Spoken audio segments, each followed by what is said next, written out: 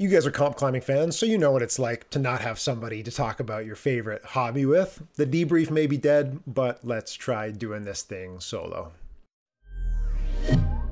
Before we get into it, Madison Richardson with that seventh place, a new personal best for one of Canada's upstart boulderers every year, getting better and better. And in the spirit of getting better and growth and team support, maybe you would consider supporting Canada's paraclimbing team. They want to go to the Salt Lake City Paraclimbing World Cup this year, and they're trying to raise funds with a 50-50 draw. So maybe you want to spend 10 bucks or 20 bucks, get some tickets. The money goes directly to Canada's paraclimbing team, and you may just win your money back. Link right down in the description below.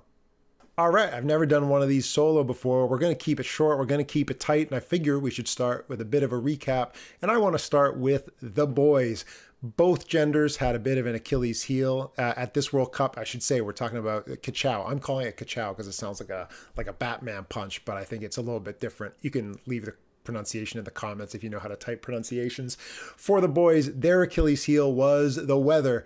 The women narrowly escaped having one of their boulders rained out in qualifications, but the men got absolutely rogered by it, and qualifications was canceled partway through the round.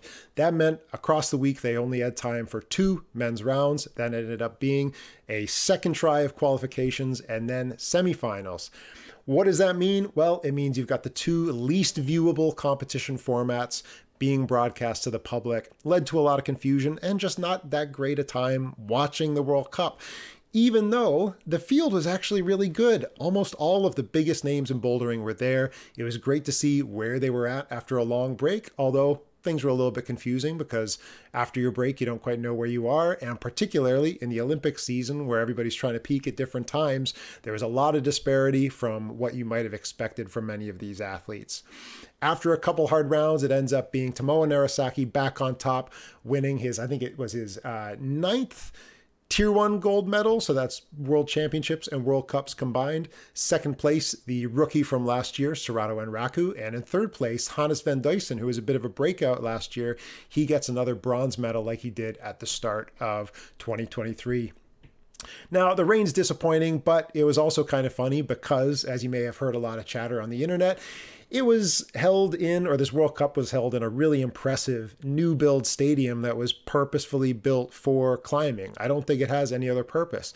It's gorgeous. It's something you'd want to take photos of, and it's especially great in drone shots. But all of that goes to waste when there's a huge hole in the roof, and even with their little backup tent, they had to cancel an entire round it's not the only place that rain happens, and it's not the only World Cup that happens in an outdoor venue. So I don't want to like overemphasize how weird or how disappointing this particular event was, but it is a lot funnier when it's in a venue that must have cost far too much money for having to cancel rounds inside of it. And even funnier when you've got like the lost cause, grouchy old timers still bringing up Meiringen, the former first stop of every World Cup season. It may have been located in a tiny town in, you know, the backwater of Switzerland where there was almost like more cows than there were people. But even for a shabby little like tennis hall, the crowd was amazing and never once did the competition get rained out.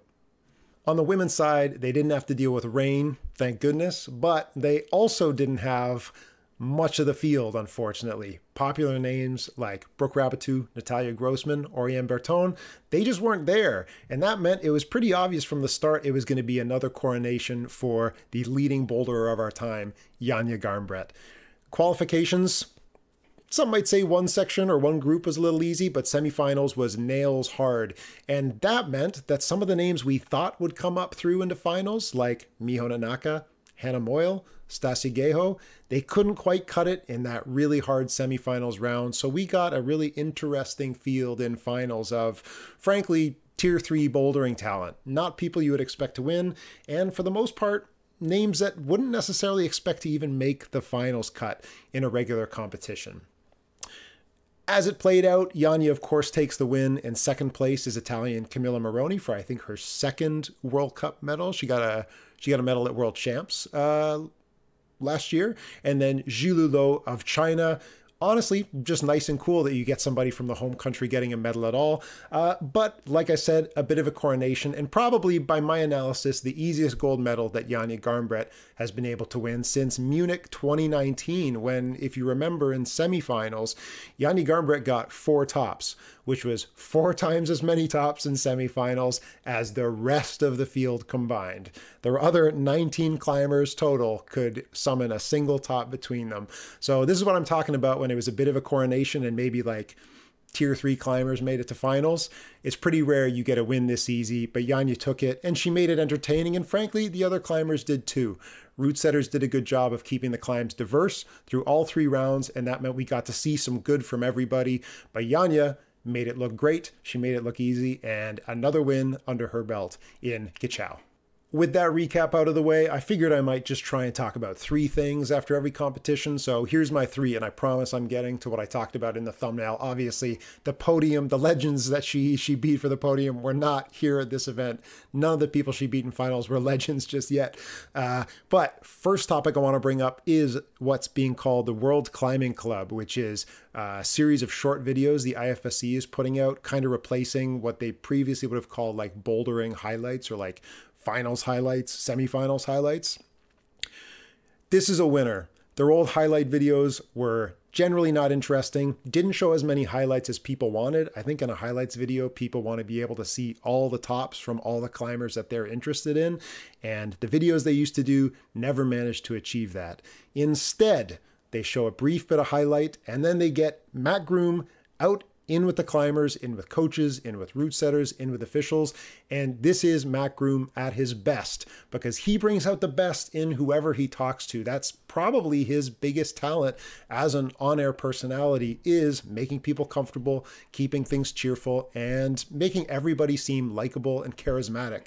It's increasing the brand of the athletes and everybody else that he talks to, and it's increasing his own brand himself. I'm a huge fan of these videos. I think highlights and recaps should be left to YouTubers like me who do that kind of stuff for free. The YouTube pirates who like just re repost the entire finals leave it to those people if you want to like cut out the fat and just do highlights of particular climbs but if you're matt groom and you have that personality and you have that voice and you have that demeanor with other people that you interview and most importantly if you have access if you are at every comp and you're in isolation and you're in the commentary booth, I'm so happy that he's getting to use those opportunities to show us these short, like 10 minute magazine style collections of content that open up angles we never got to see before. It is the best thing that Matt Groom has brought to IFSC broadcast so far. And for that, congratulations to him and to the IFSC broadcast team. One of the other points I wanted to bring up uh, Olympic training cycles are going to make this a mess First World Cup of the season, it's pretty normal to expect that no one knows what to expect. The climbers don't know where they where they are at on World Cup boulders. The climbers don't know where each other are at on World Cup boulders, and the route setters really don't know where the climbers might be at. So first comp's always shaky. Things might be too hard, too easy. Climbers aren't performing the way they want to be. But making it even worse this year is that you have athletes trying to peak at entirely different times. Janja Garnbret is trying to peak for the Olympics towards the end of the summer, whereas others are trying to peak for the OQS just a couple months away. And then as just a complete wild card, you've got those tier three, tier four climbers who are never going to go to the OQS. So the World Cups are all they have. And this might be their pinnacle series and maybe overperforming the rest of them. At this comp, we heard climbers talking about not caring about the results at this comp, not caring about the series overall, not quite feeling very good for strength or for endurance and feeling like they're training lead more than boulders or this, that, and the other thing, it made things pretty disorienting in terms of the status of other climbers. And it's only going to make this season even more confusing. From a historical lens, whoever ends up on top of this season, who ends up on the bottom, there are going to be so many asterisks in terms of the diversity of the field and what everybody's goals were. It's going to be incredibly hard to parse, and that's part of why I wanted to do these videos, is to add a little bit of context of who is where and when and why. Last thing I want to talk about, end on a high note, talking about Janja Garnbret knocking a legend off the podium. And of course, I'm not talking about somebody in finals from this weekend because she was the only legend on that podium. I wanted to talk about female boulderers over the history of competitive climbing, specifically over World Cup climbing. So we're starting in 1999. there are a bunch of greats in bouldering, and you may not know the names, but we're talking like Anna Stöhr, we're talking Akiyo Noguchi, we're talking Sandrine Levet, and we're talking people like Janja Garnbret and maybe, you know, Natalia Grossman coming up. What was special about this week's competition in Kachau was Janja Garnbret overtook the early 2000s bouldering and lead legend French climber Sandrine Levet. In bouldering specifically, Sandrine Levet had accumulated 18 bouldering medals, that's World Cups and World Championships. 18 medals in her career, almost all of those in the early mid 2000s. She was an excellent lead climber as well, which is what makes her one of the few athletes in history that you can properly compare to somebody like Janja, because most of the great climbers, almost all of the legends of climbing, were single discipline climbers. And so trying to compare Janja Garnbret to an Anna Stöhr, who was a bouldering specialist, or to Jain Kim, who was a lead specialist is very hard to do because they're competing in pretty much different realms and not many people have done what Janja does of bouldering and lead at a high level at the same time. But Sandrine Levet was one of those people, and at the end of her career, she had accumulated 18 boulder gold medals. And at this event, Janja ticked to 19, putting her now in third place for the most boulder gold medals in their career. Anna Stöhr still at the top with 24. Akiyo Noguchi, this graph is a little unclear. I'm going to annotate it so you can read it. Uh, Akiyo Noguchi, I think, is at 21 or 22, if I remember right. So we might get to see uh, Janja Garnbret overtaking both of them over the next couple years. Now, Janja already announced the rest of her plans for at least the pre Olympic part of the 2024 season. She told us she's doing Kachau, which is what we just finished. She's going on to Wujiang, happening in the next couple days. And then Innsbruck will be her last World Cup before the Olympics uh, in the summer. And so she's only going to have one more opportunity to win a Boulder Gold this year. So she's not going to overtake anybody else on the Boulder Gold medals chart uh, this season at the very least. But next season, we'll see how much she wants to compete. She could end up taking that top spot if we get the right number of comps and she has the right kind of season. To finish up, I thought I would go over the rankings. Maybe we'll do this after every comp, but we'll update you on the World Cup rankings to maybe emphasize a little bit of that season long story, even though this year the rankings are going to be an absolute shit show. And an extra reason why they might be a bit of a shit show before I actually show them is this, at least in the Boulder World Cup and the Speed World Cup, we're currently scheduled to have only five events or less five Boulder events and five speed events in 2024. And there is a special rule in the rule book which says if you have five events or less in one of the World Cup series, that means you don't get to ditch your lowest score for your season end ranking, like you normally do when you have six events or more. So, for those of you that are nerdy and you already know how the rankings work and you're used to seeing a climber have six competitions and whatever your lowest score is, you drop it, or more commonly, there's six events on the calendar, but athletes might skip one because they can drop whatever their lowest score is. So if you skip one of those comps, it's a zero, you just get to drop it out because the rule says if there's six events or more, you drop one score. Not going to happen this year. Every single score counts, and that means every time you're absent also counts. So keep that in mind as we look at the rest of these rankings for the Boulder World Cup after this first event of 2024. Janja Garnbret won the comp, so she's in first place with 1,000 points, followed up by Italian Camilla Moroni and Chinese climber Zhilu Luo. Part of the French dynasty, Zelia Avezou is in fourth place, and upstart British climber Erin McNeice is in fifth. And Anon Matsufuji, currently the highest ranked Japanese climber so far, is in sixth. Madison Fischer, the Canadian I already spoke about, earning her personal best ever, seventh. Chloe Caulier of Belgium in eighth. Staša Gejo with a disappointing start in ninth place. And Australian Oceania Mackenzie returning to the top 10 uh, to round out the rankings after Kachau. For the men, Japanese superstar Tomoa Narasaki is in first, with his protege Sorato Anraku in second.